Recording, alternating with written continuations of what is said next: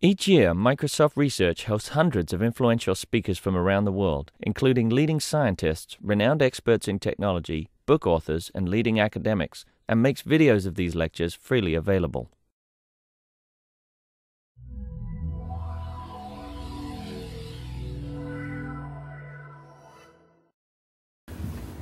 All right, so it's uh, it's my pleasure to host today Peter Rigby, who is right now a PhD candidate at the University of Victoria. He's studying under um, Daniel German and uh, Peggy Storey. Um, it's about to finish in a few months. Um, he actually is going to be he's going to be talking today about peer review in open source software. He had an ICSE paper in 08 um, that examined this, and then he also um, took it further and uh, has an upcoming ICSE paper in Hawaii in May. Um, so he's going to, give us kind of a, everything he's learned about how open source peer review works. So, with that introduction, here, here's Peter. Thanks. So, um, yeah, this is what I've studied for my dissertation. So, peer review and open source. And uh, does anyone know where this quotation comes from? Computers are useless; they can only give you answers. Do you know who said that? Anyone? No. You got to think outside of the computer world, actually. Oh. Think Seattle yesterday, actually, or for the last couple weeks. Seattle? Yesterday? For the last? Like. Maybe that's not helping. I, that doesn't help you, actually. Forget that. I have no clue. Hmm. Yeah. Yeah. It's Picasso, and there was the Picasso exhibit that, that, that was just in, in town. Picasso? Yeah. Holy cow. Would never, ever in a million years have thought that. I don't know what Picasso would think of Kinect, though. Oh, yeah, he would say Kinect is awesome. Anyways, yeah, the exhibit was, was pretty fantastic. That's he's one sort of interesting fellow.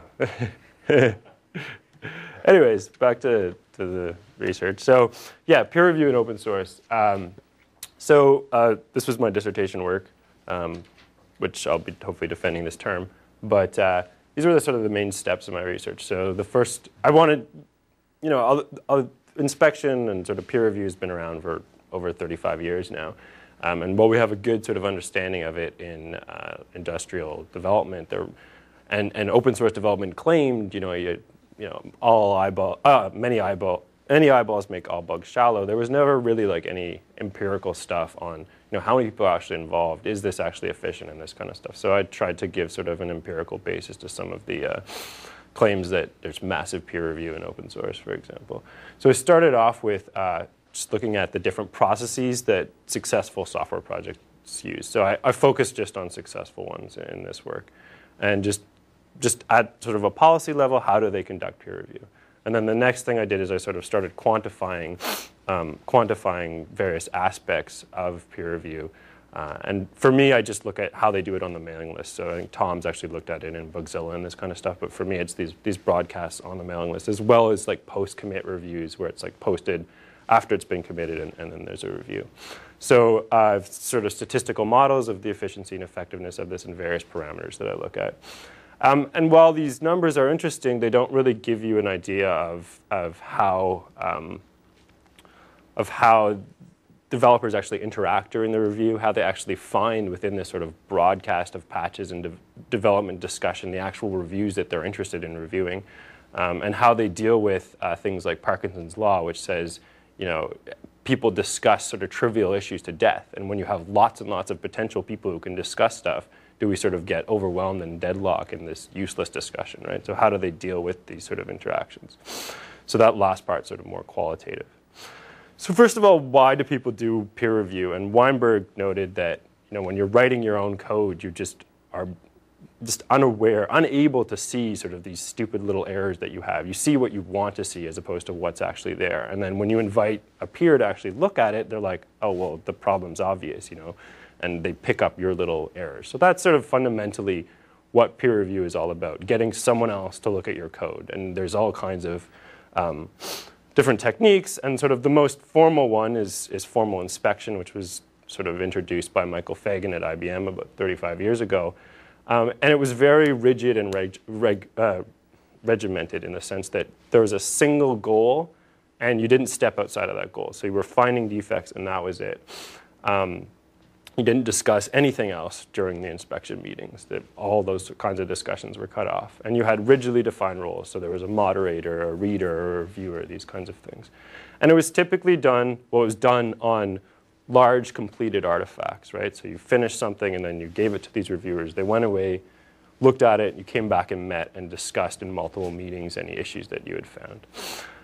Um, sort of over time, that process has, well, there's also sort of walkthroughs that are less, sort of less formal. So there's been many sort of variations on that process that has made it less formal and sort of more amenable often to uh, developers who don't actually often enjoy doing these really formal reviews.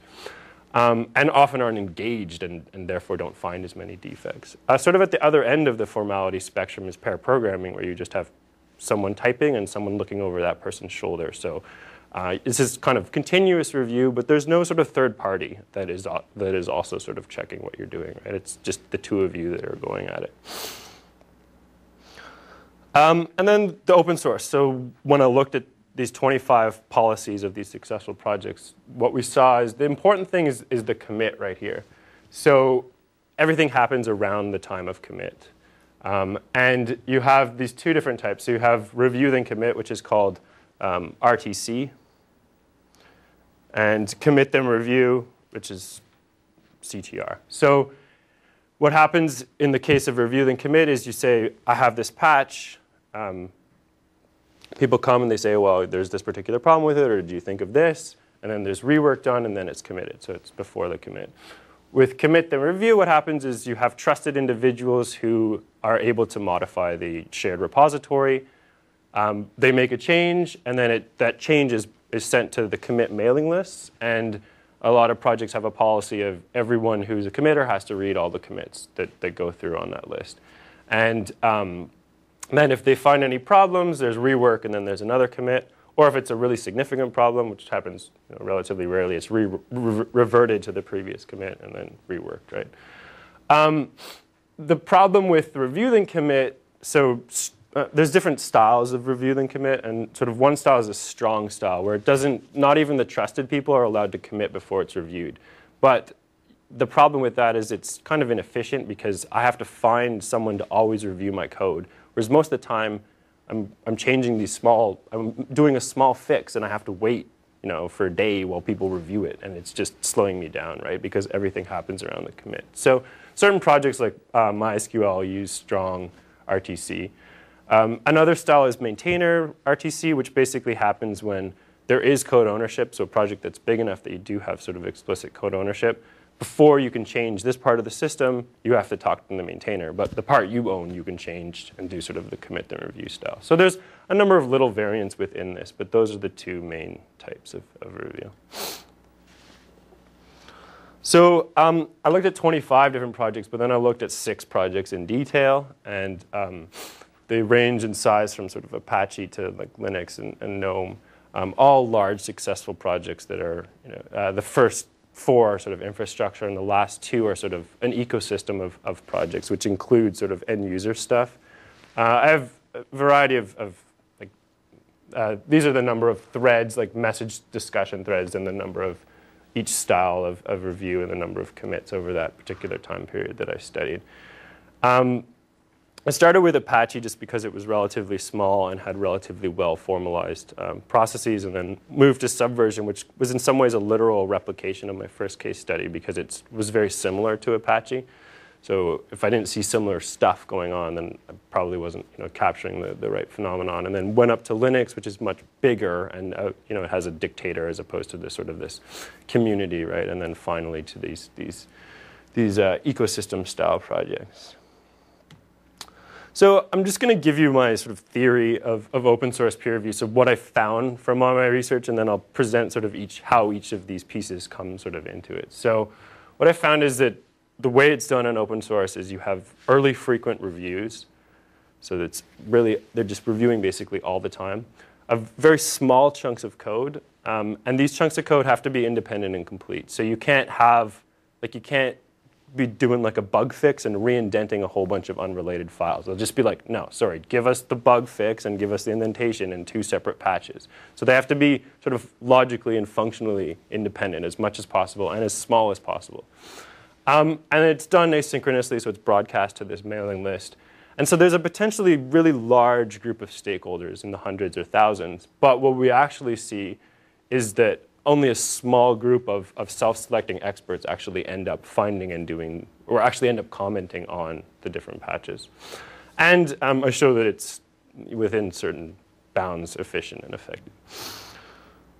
So these, the first part where I actually quantify um, stuff, these are the, the sort of questions as well as the measures that I, that I look at. So the first thing was uh, review frequency and project activity. So um, as, the, as there's more development being done, does the reviewing actually keep up with it, or do we start to see a lot um, uh, less reviewed code? Because you know, in, in many cases, there, there, there are volunteer developers, and, and so do we start to start to see this increased development but not uh, increased uh, reviews? Uh, how many people are actually participating? So are we talking about thousands of people in a particular review, or is it actually more like what we see in industry with like a couple people, four people maybe? Um, experience and expertise. So how who who are the people that are doing this? Is it, are they working in their area and do they ha have they been there for a long time, or is it are you getting sort of more outsider opinions? Who are the people? But what is the experience and expertise of those people? Um, then the size of the change. Um, so traditionally, you're looking at big changes, or we, we're looking at sort of smaller ones here. And then the complexity of the change under review. So how does this uh, how does the complexity affect the, the review? And I, I have sort of two outcome or um, dependent variables, which are the review interval and the number of issues found. And traditionally, these have been measured as the, the efficiency of the review process and the effectiveness in, in sort of uh, traditional inspection experiments. So the review interval basically says from the time the author says, I have this piece of code that I want you to review, to the time when all the bugs and defects have been reviewed, that sort of is the calendar time or the review interval. Um, so it doesn't tell you exactly how long any particular individual spent, but it's the entire time for the review. And that's usually on the order of, of weeks in, in uh, traditional inspections. And then just the number of defects found. So are we actually uncovering uh, defects? And um, I look at issues as opposed to defects, which I'll get to a bit later just because the developers don't record this was a defect, that was a defect. So I had to think of some other way of measuring that. So the first thing is uh, oh, actually, sorry, before I go on, so I, I used the, these parameters in my models of, of efficiency and effectiveness, and then as I go through, I'm just going to talk about you know, what influence they had when I do each, each parameter. So uh, frequency, this is a graph of FreeBSD, and you can see that this is sort of, each point is a month, and you can see that, you know, in like sort of the relatively, like the 2000s or whatever, we're up in thousands of commits a month, right? And then for, for commit then review, we can see there's about um, like 10 times less uh, reviews. And this means about like one in 10. So the, one of the problems with the, the data that I have is if there's no problem found, I can't differentiate between whether it was ignored or whether it was reviewed with no issues found, right? But what, what I found when I actually went through manually and looked at them is they, they typically don't respond if there's nothing to talk about, right? And so you can see that about one in 10 um, reviews bring up an issue, right? Um, the correlation between the number of commits, so project activity, and the number of commit then reviews uh, is around is above 0.8 across all the projects. So as as as activity increases, so too does the, the, the frequency of review. Um, with review then commit, which is, which is it's not committed, first you say, can you review this? And then it's later committed. The correlation is much smaller, so it's, it's moderate, somewhere between like 0.3 and 0.6. And um, I'm not exactly sure what the reason for this is, but a lot of those patches are rejected. So this is usually coming from outside people. And so you know, these are conservative projects. They're not necessarily interested in your latest feature. And so it seems like they have, they're much less responsive to sort of these outsider patches as opposed to, they do pay attention to the ones that are committed because this is what is affecting the system. Do you think maybe a, you explore correlating with like a time lag? Yeah, I Like, did. if I you did. have to review before commit. You may expect that it's like doesn't show up till the next month or something, right?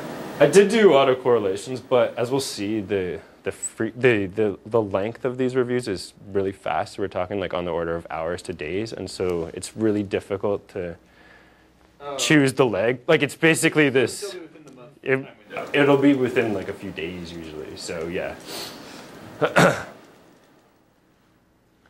so um, yeah, you can see that there's a high frequency. So these people are sort of constantly reviewing stuff.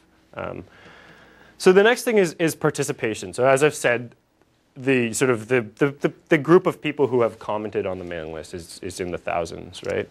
Um, the, the, the problem with the data that I have is that, you know, in a traditional inspection experiment, you have, oh, well, four people came to the inspection meeting. That's the participation. These three people talked and that person didn't do anything. Whereas I don't really have that information. I just have this email list thread and I have, you know, the patch and then people respond to it, right? Um, so I only, so if someone has, you know, reviewed it, but they only found the same problem as someone else, they're not going to respond, right? So I only know the people who actively participated. I don't know all the people who um, maybe did the actual review. So what I did is I took all the reviews for a particular month and I said, if you respond at some point, if you're doing reviews, at some point you're going to be the first problem, person to find a problem and you're going to respond. And if you don't, you're really not contributing that much to the project. So I said that's the review group. That's the group of people who are participating in reviews. And that's what this is. And you can see it's highly tied to the size of the project. So this number 16 here is for Apache. There's the, the size of the people who are participating in any given month is 16. Whereas for Linux, it's around 480. And very few of these people participate in more than one review. And the people who do are the core people, the maintainers of the project usually. Those are the people who participate in a number of reviews, so like five or six reviews versus just one review where they just had a single comment. So the review group is highly tied to the size of the project, but the number of reviewers for any review is, is almost constant in the median case across all the projects at two, right? And so you have this really big potential group, you have a, a smaller review group, and a really small number of people in any individual review. All right, um, the experience and the expertise of the people involved. Um, so this is uh, in days. We can see the author and reviewer. The authors have less experience than the reviewers. So somewhere between a year and just over three years um, uh, is how long they've typically been with the project. So the way that I measured this is I said, okay, at some point you have a commit or a first message, and then we have the current review. At this current review, how long has the person been with the project, right? So um, the reviewers have been sort of like a, a couple years to, to, many years with the project. And um, the, the, commit then review had the people had a lot more experience than review than commit. And again, this makes sense. If you if you if you're involved in the commit then review process, you're either watching the commit mailing list or you're have commit privileges, and so probably you have more experience. But I mean, even in the review then commit case, we're talking about usually somewhere around a year of experience before you're really typically involved in, in these in these things. Um, experience, experience. This should say expertise, but um, I looked at the amount of work that you were doing, so just the number of commits and reviews that you were involved in, and uh, the area of work, so what files you were changing. And uh, these correlated relatively highly, so I just kept the simpler one, which was the um, amount of work, so the number of commits. And uh, in both cases, the experience and expertise. So in, in the interval case, the more experience and expertise actually reduce the interval. So the greater the experience, the shorter the interval. Uh, I'm not totally sure why. And then in the case of the number of issues found, the more experience you had as a reviewer, the, the more issues that were found. And it was always the reviewer that sort of dominated the influence of experience. So the author was less. We looked at these for both author and reviewer. Yes, sorry, I should have specified that. So the author, the authors kind of varied more in experience, and theirs was less important in terms of the interval and the number of issues found than the experience of the reviewer.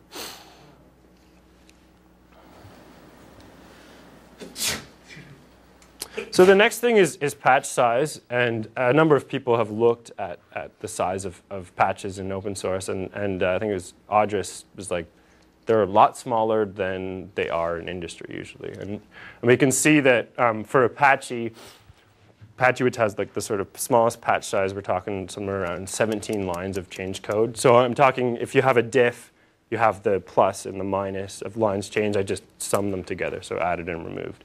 Um, uh, so we're talking like 17 lines with Apache, and then uh, Linux, I think, is the highest somewhere around 35 lines. But I mean, these are relatively small changes when you compare them to the hundreds of lines that, say, Lucent was doing during reviews.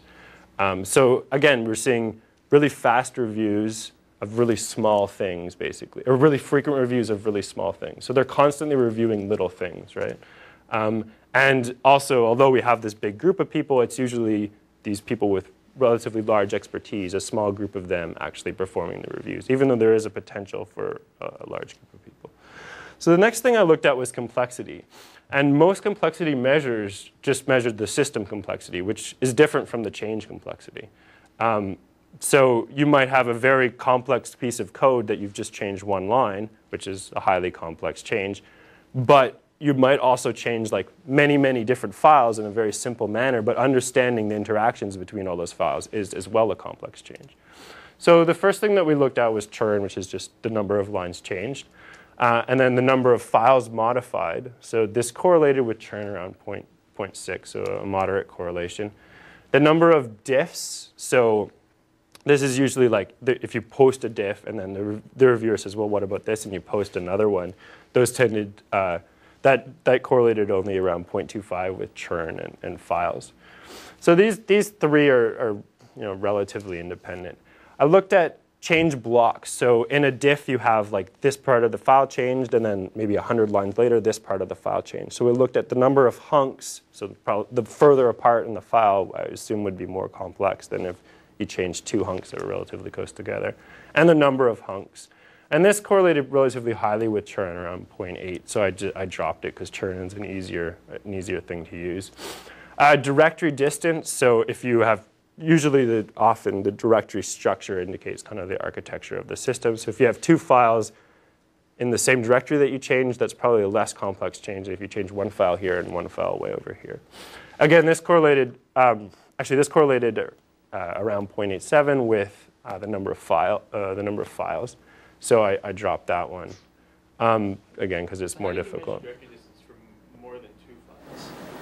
Uh, it was just the, the average. Uh, yeah, yeah, just the average. Um, and then the depth of indentation, which is Abram Hindle actually looked at this. So the more, basically, the more white space you have before a line, the more likely it's involved in some deep, complex conditional or something like that. So it's going to be more complex. But again, this correlated highly with churn, which all complexity measures seem to correlate with the size of the file. So um, I kept these three in my models, and um, as you might expect, the more complex, the longer the interval, and the more complex, the more issues found in the code. Um, yeah. So the last thing, and probably one of the more interesting things is, is in terms of the measures, actually, uh, is the review interval. And so this is how long are the reviews actually taking. And um, we can see that, you know, in the median case here, we're talking um, a few hours. Um, and so actually, sorry, I have two things here. I have the time for, to the first response. So when you post a patch, how long does it take until someone's done a review and, and responded and said, what about this, right? And this is important if you're talking about commit the review, right? Because if I commit something and it's not until two weeks later that someone actually notices that I have an issue, then it's going to, you know, potentially there's going to be dependencies on it.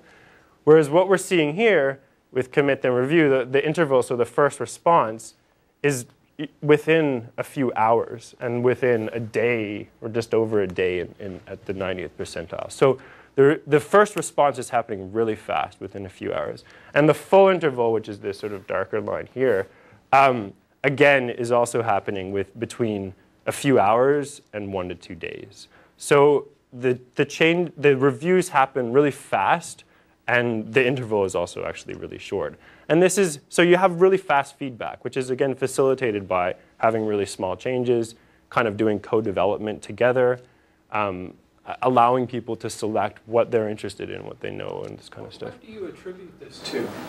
What do I attribute what to? Or, or what, what's motivating these people to respond so quickly?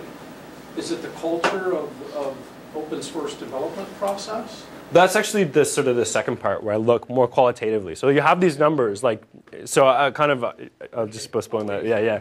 But yeah, so basically we see that there are these really fast responses, right? And it's a really short interval. And clearly it's, that was one of the things that, like, what Audris said, he's like, well, the patches are much smaller in open source than industry, but we have no idea why. And I think part of it is you have to review these really small things all the time, and that's what they're doing. It's, it started off with the volunteer culture of, I don't have that much time to look at this, right? So um, I think it evolved kind of out of that. The, the number of issues, um, uh, the models that I have range, so I actually have uh, 10 models for, because there's two types of review for four projects. So there's 10 models for interval, and the R squared value ranges from um, uh, 0.2 to 0.48, I think. So a reasonable uh, explanation of the variance. With the number of issues, it ranges from, uh, well, I, I, didn't even bother interpreting the ones below 0.2, but 0.2 to 0.58. So again, reasonable explanation of variance. Uh, measuring the number of issues was a little bit difficult. Uh, initially, I just did it manually, but what I realized basically what happens is they post the patch to the mailing list, and people say, okay, you have you know this stuff, but then they just break in, they just respond, right? Like this is just the respond. When you respond, you get the little things, and it says, what happens if you know we have this particular thing happening here, right? And so this is sort of you, just break the code with your responses, so it's kind of interleaved, and you also cut out any crap you're not interested in talking about. And so you have basically what I did is I just took the diff and I said, anytime there's a break like this, there's some issue being discussed. So I can't say that it's a true defect or anything like that because they don't record that information. And when I tried to do it, I was reading it over, and I'm not smart enough to understand the internals of Apache or Linux or anything like that. So it's a little bit outside of what I could do, but I tried to count the number of issues. And again, they're really small patches, and you see between one and two issues per sort of contribution. So you automated? I did it in automate. I started doing it manually, and then I'm like, all I'm really doing is counting the number of breaks, basically, right? Uh, you can't. I like. I can only. You can only do it if there's a diff, right? Like I didn't. Like if someone responds to this, it's not a new issue. They're still talking about the same issue, right? So it was only on the initial patch that was produced. I didn't, because otherwise you just end up. Basically, the number of issues is identical to the number of responses, which is totally useless, right? and not not valid. So that's the that's sort of the more quantitative stuff. Um, but then I didn't really understand, you know, as as you asked, like how, how, why do they decide to do the review? How do they find these things? Why is it so fast? Why do we instead of having hundreds of people talking in the meeting case, just two people? So the research questions that I came up with. Um, is first of all, how do they find the patches within this sort of broadcast of information? Um, then uh, what happens when patches are ignored? So, so far I haven't really looked at that. I said, I'm only going to look at stuff that gets a response because I know if there's a response, they're talking about something. If it's ignored, I don't know whether it was just no defects found or, um, or it was just not committed, right? And you actually looked a little bit at whether um, stuff gets in, kind of. Uh, so ignored patches, what happens when patches are ignored? Um, then when the actual review happens, who are the stakeholders? How do they interact? And when there's too many stakeholders, how do they avoid sort of deadlocking? And also uh, scalability issues. So while broadcasting might work wonderfully for Apache, which is a relatively like a medium-sized project, might not scale up to something like KDE or Linux or something like that, the techniques that they use. So how do they do these, how do they scale up? So I used uh, grounded theory, which is a qualitative research methodology, and I coded 500 instances of review threads across the different projects. Um, I also interviewed 10 core developers to sort of triangulate my findings to make sure that what I was seeing was not some, to make sure that I wasn't crazy. So the way that I coded it is I basically had um, the, the, the review thread, and then I would just write, I would just write what I was seeing and then abstract that into sort of these larger themes, and then ultimately you end up with uh, sort of your core or most important themes. So the first thing, finding reviews in a broadcast. Um, so the big thing here was um, this idea of area of interest and obligation. So typically in open source, when you start doing development, you're interested in a particular part of the system. You write some code. As you become sort of successful at writing code in that area, you are invited to you know, be a maintainer of that area or to become a core developer. And at that point, you start, the developers at interviews start saying, talking about obligation. Like, when I see code in that area, I'm going to review it. And this isn't purely altruistic. If I'm maintaining a particular area of the code and someone else changes it, I'm going to have to later probably maintain that code. So I have a vested interest in making sure that this review is a good review, right? And and and um, uh, so yeah, and, and, yeah, ensuring that that's sort of a, a good uh, a good section of code. So in traditional inspection, it's like you know you three are reviewing this, right? You don't necessarily have a vested interest in what is under review, so you're not necessarily as actively involved in, in the review process. So um, how do they actually pull? Like, so in the case of Linux, the Linux kernel mailing list has a median of 340 messages a day. That's a lot of mail. So ask, how do you sort of dig through this and actually find what you're interested in? How do you not become overwhelmed? And so the first thing is they just had simple mail filters. So, uh, well, some of them were actually more complicated. One of the more interesting ones was one of the maintainers for Linux. He said, I just, I, I have all the files for my particular part of the system, and I just have a filter that if there's a diff with one of those files, it just pulls it out into my inbox, right? So all the developers differentiated between the general mailing list traffic and their inbox. So if someone sent something directly to them as well as the mailing list, they paid more attention to it than just the mailing list. And they also had these filters that would pull out, you know, if it came from a particular person that they usually work with or um, files or whatever. So they pulled out the sort of important email to limit what, um, what they had to look at. And then the next, next thing is this idea of what I call progressive details. So they did still look on a regular basis at the entire mailing list, right? Um, and the reason that this is possible is because uh, if we actually go, hopefully this will come up. I did it in an off offline. Anyways, we'll see if that comes up. You, you have all these subjects that describe what the patch is about in one line. So you can go and kind of read all this stuff. And this allows you to sort of develop a general awareness. Let's see if I click work offline. Sorry.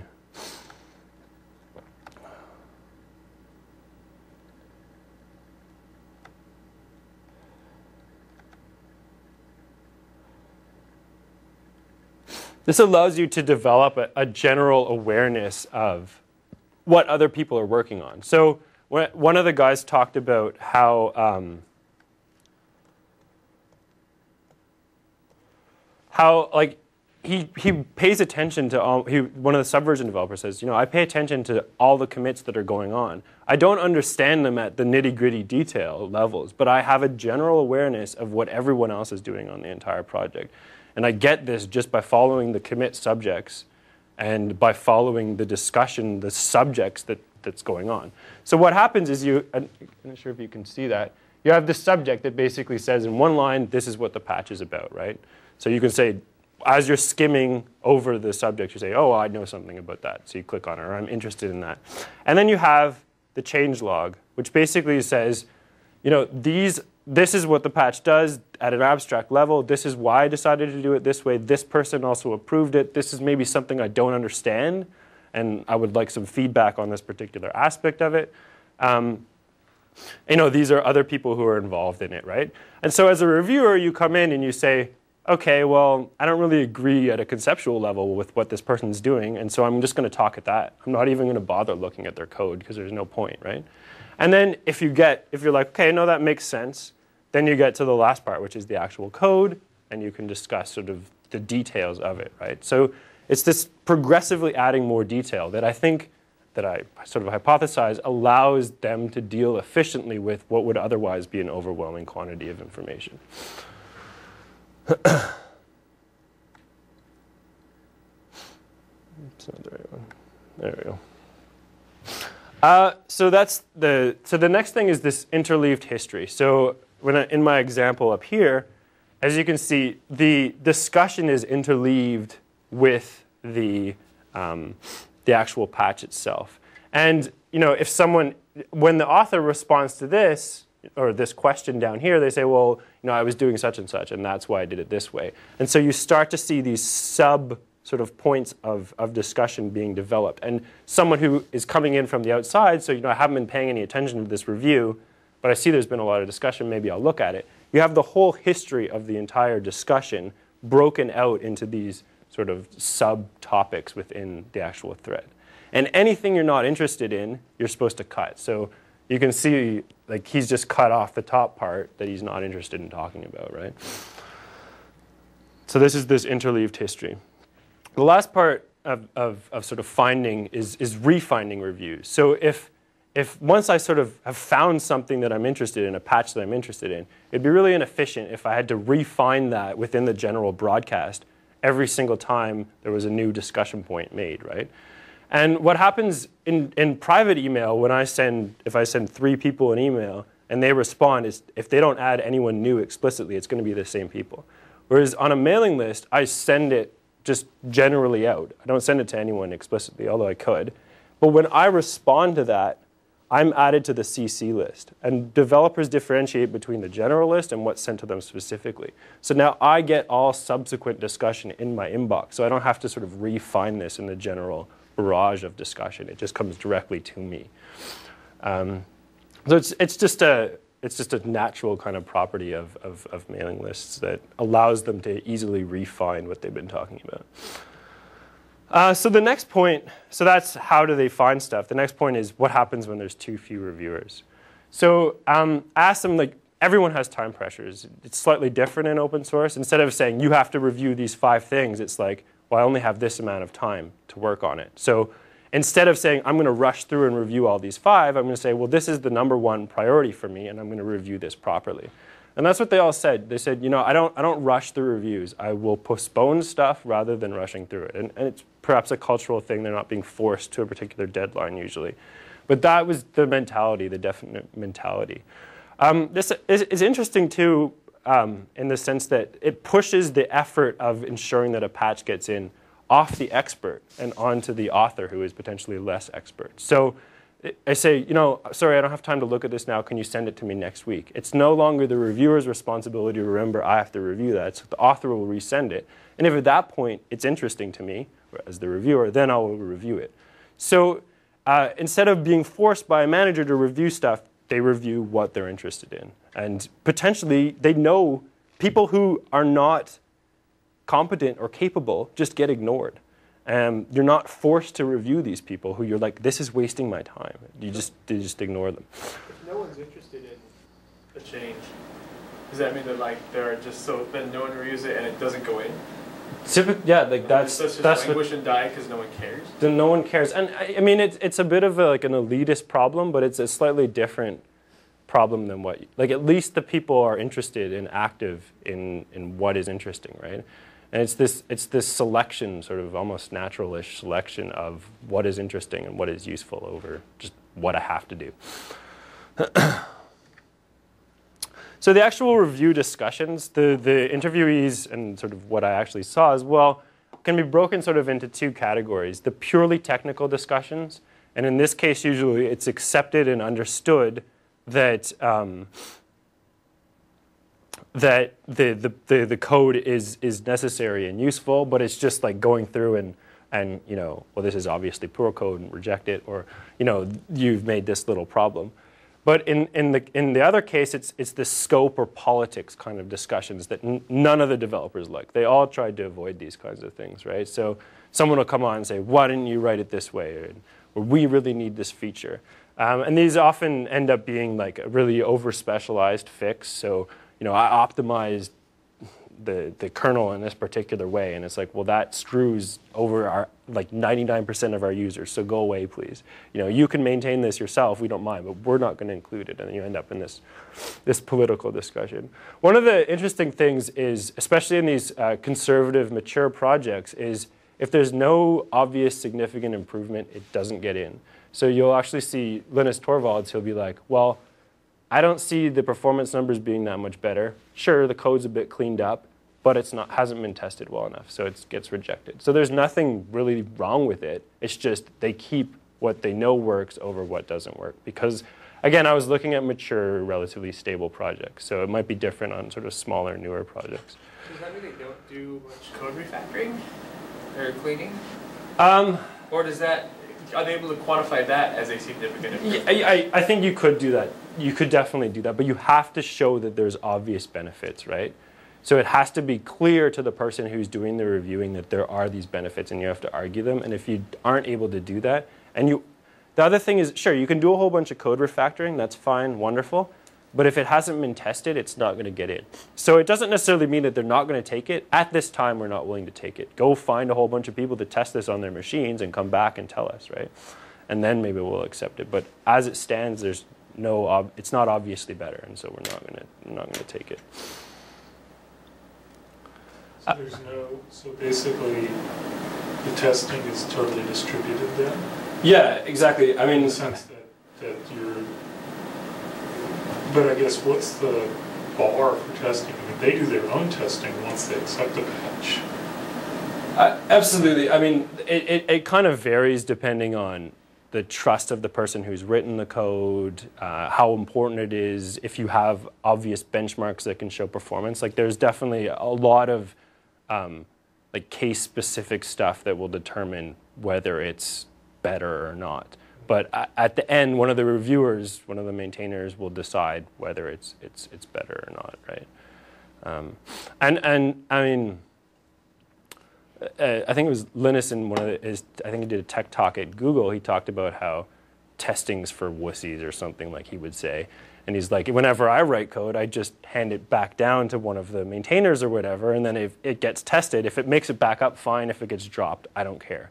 You know, it's, it has to go, even stuff that I write has to go sort of through this process of making sure that it does get sort of run by a bunch of different people and, and tested in that sort of loose saying that that isn't testing? I mean, no, he says I don't do testing. I Oh. pass it back down to people like my maintainers and, and like other users and that kind of stuff. And if the code that I've written makes it back up to me again, then I'll include it. But if it doesn't, I don't care. Because it, it just didn't sort of satisfy this criteria of being like better. faster. Yeah, a significant improvement, right? Uh, one of the things that they did point out to me though is like it doesn't stop new features. Like they will change. Like like we realize this is the direction we need to go, and these are the stepping stones that we're going on. But then it's sort of we've planned for this. Like this is the direction that we're moving in, and you know maybe it's going to get a little worse for a little while, but we know this is where we're going, right? So it doesn't stop significant new features, but if you're just rewriting something because you think it's going to be faster and it turns out to only be like min- like a minuscule amount faster, then it just doesn't get included. Um, so uh, when I asked them about roles, um, I, I didn't see any explicit roles, and they didn't really. They were like roles, like there's not really like there's no like reader or moderator. These people do kind of come up, but they don't uh, just sort of naturally exist. And so uh, these were the sort of personas or ways that they acted. So the objective analyzer, which is kind of the goal of peer review, you're objectively looking at the code, finding bugs. This is sort of the mentor role as new people are coming on. Uh, as I talked about, you have to generate interest around your patch in order for it to get accepted. Um, and then just like we've already talked about this, go away. Kind of just grumpy cynic. We've already tried this. We've been down this road. Go read that discussion and leave us alone.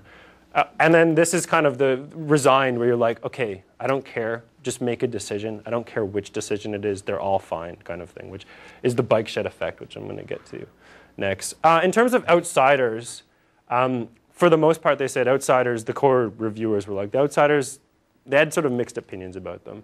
Uh, so long as they're competent and objective and they're not sort of have a particular ideology that they're not willing to leave, they can actually be quite useful. So the different types of useful ones, which are sort of the rare outsiders, are aspiring developers, uh, external developers, so um, that you know you're writing a, an infrastructure project so like Apache, and then there's a bunch of modules around it. So they're writing their own code, and they realize there's a bug that's related to the code that they're working on, and they'll actually sometimes correct it for you in your product, and then give you a particular piece of code. And then power users. Um, one of the subversion guys said, you know, we have these sites that run huge subversion repositories, and they bring up issues that are outside of the scope of the core development team, right? So they're useful in terms of discussing what is necessarily, what needs to be in the product, right? And sort of giving more, a broader perspective to the development team.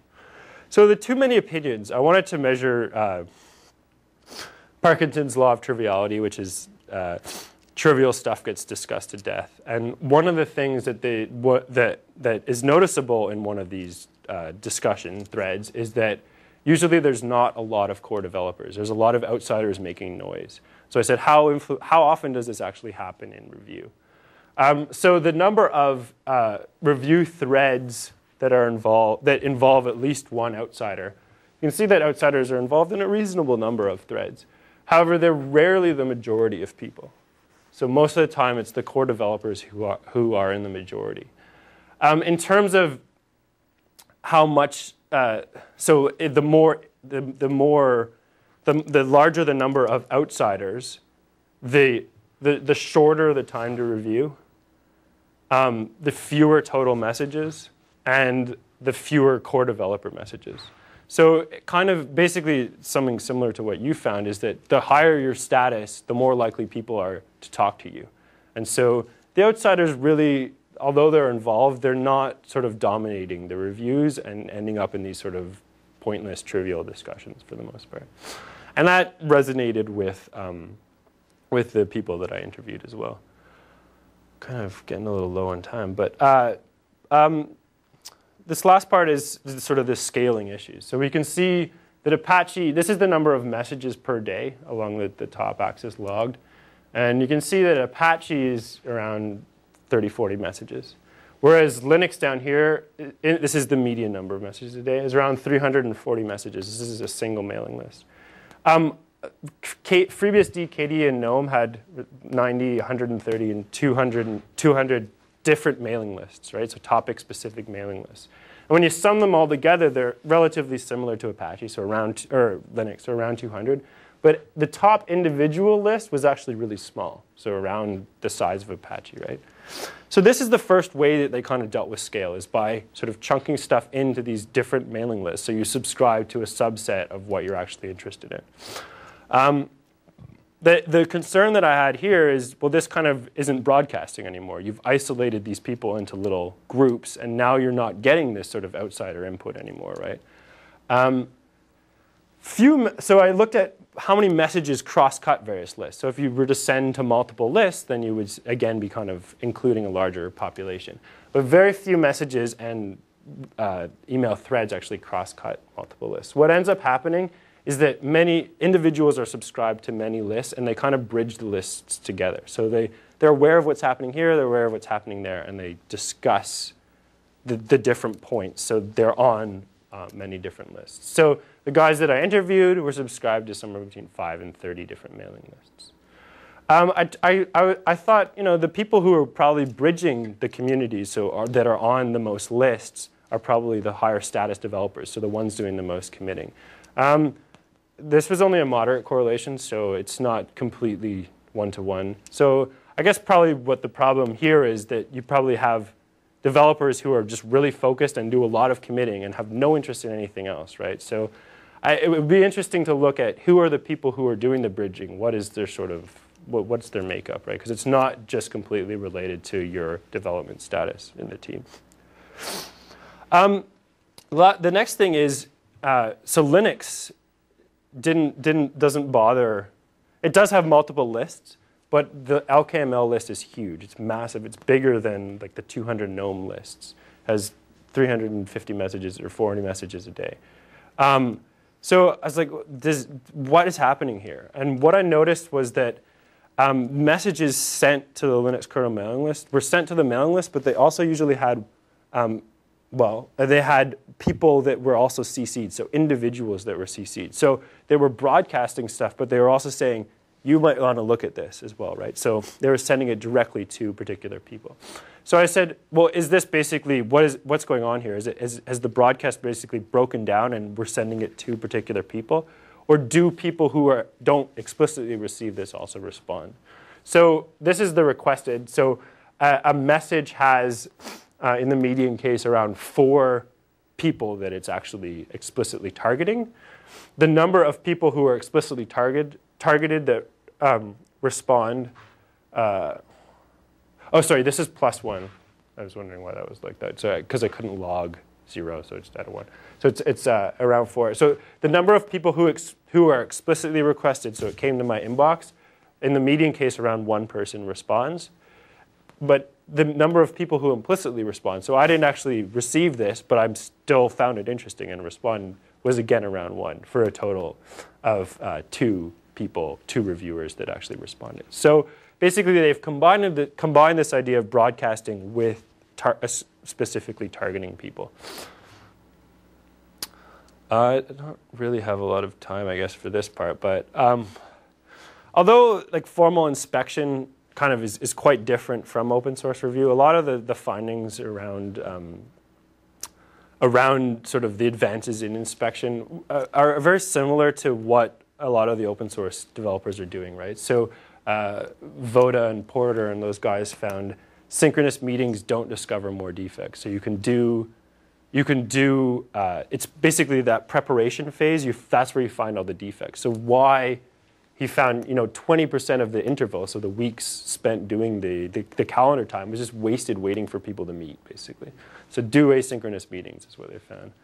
Um, there's a lot of other things that you can get out of doing peer review that you don't when you restrict the goal to solely finding defects. So in the open source thing, we saw like mentoring, you can bring new people onto the team, this kind of stuff. This also happens relatively easily in an asynchronous environment.